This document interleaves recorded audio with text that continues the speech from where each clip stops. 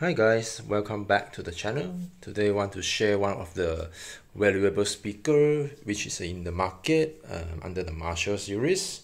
The largest speakers ever for the Woburn 2.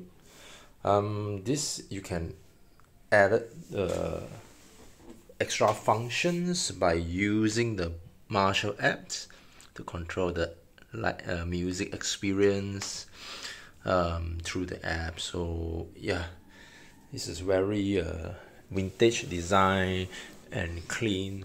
This is a white color so I think it makes a design um, for my interior house interiors uh, quite matching. And under this there will be woofer 2 watts um, class D amplifier biggest uh, speaker ever in Marshall and two 15 watts amplifier tweeter then um, all the outputs for multifunction, multi-connectivity, and yeah, this is a very good speaker, I think. And for in Malaysia, then I purchased this uh, over the online, and under the main distributor, there's only one main distributor in Malaysia. That will be S Asia.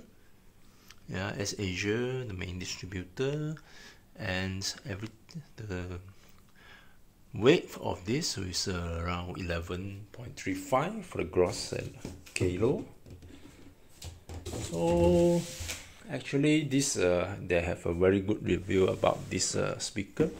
So uh, I can't wait to try it.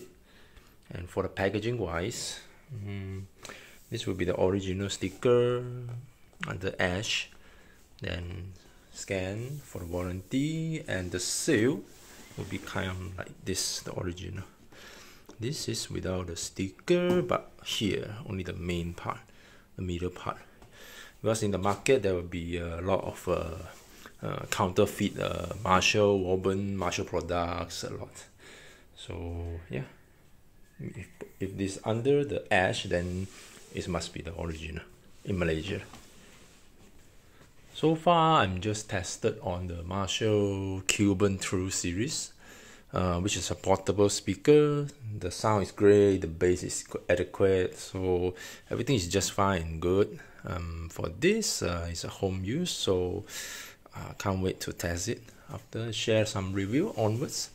So yeah, my thing about it for this, this is a larger speaker. You have this, you have everything as uh, those uh, reviewers said.